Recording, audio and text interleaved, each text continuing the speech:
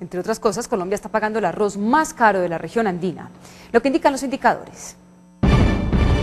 Una libra de arroz en Quito, Ecuador, cuesta hoy 0,27 dólares, aproximadamente 539 pesos colombianos.